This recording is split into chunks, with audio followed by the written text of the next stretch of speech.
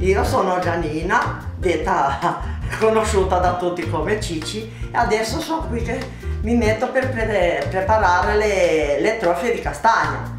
Spero mi, es mi escono bene, sempre, le faccio sempre, però un po' di emozione, un po' di cosa, non so. Spero di non sbagliare niente.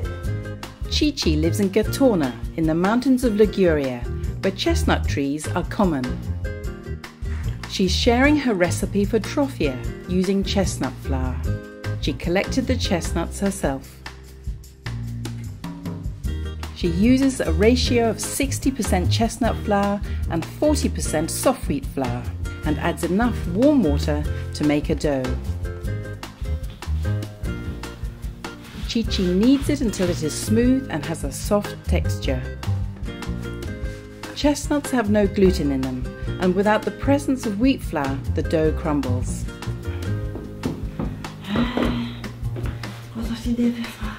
Keeping her board floured, Cicci rolls out a rope of dough and pulls off a small piece at a time.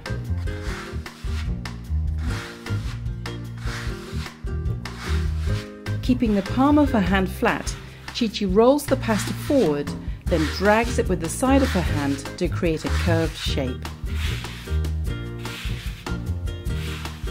The movement is the same as for making ordinary trofia. Because the dough is much softer, the resulting shape is a semi-curl, not a swizzle.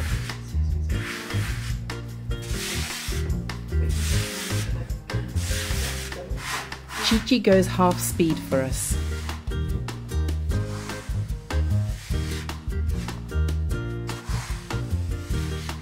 She repeats this process until she has used all her dough.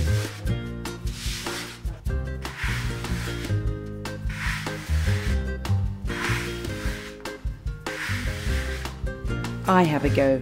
It's not easy. Eh, abbastanza, abbastanza, dai.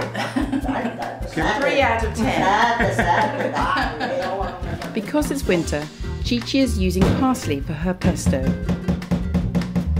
She rinses a good bunch and then blanches it for a couple of minutes. This makes it easier to turn into a pesto.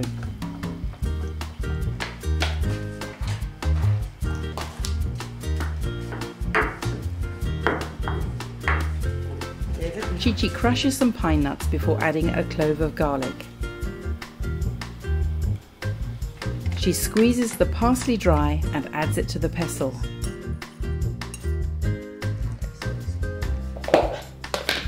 She adds grated Parmigiano and muddles the mixture to a pulp.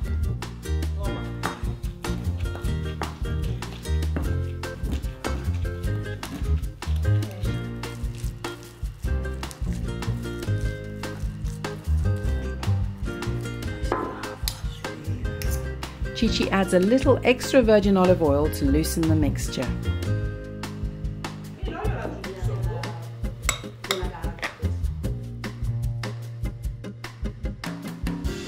She adds the trofia to boiling water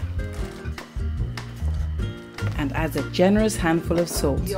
Tetole allora le conosco, conosco l'acqua. Io la metto il sale. Un po' di zucchero. They need a couple of minutes to cook once the water has returned to the boil. If the pot looks like it's going to boil over, pour cold water into it. She drains the trofia thoroughly. Cicci spreads a little pesto onto the serving platter before adding the pasta and the rest of the pesto. Because she was a dairy farmer, she likes to add a little cream. She says the choice is yours.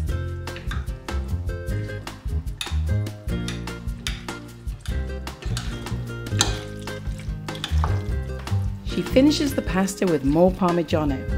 And that's it sweet, smoky trofia with garlicky parsley pesto.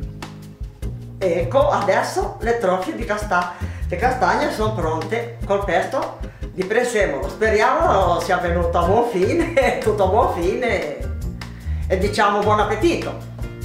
Speriamo. Buon appetito! Click on the subscribe button for regular helpings of Pasta Grannies.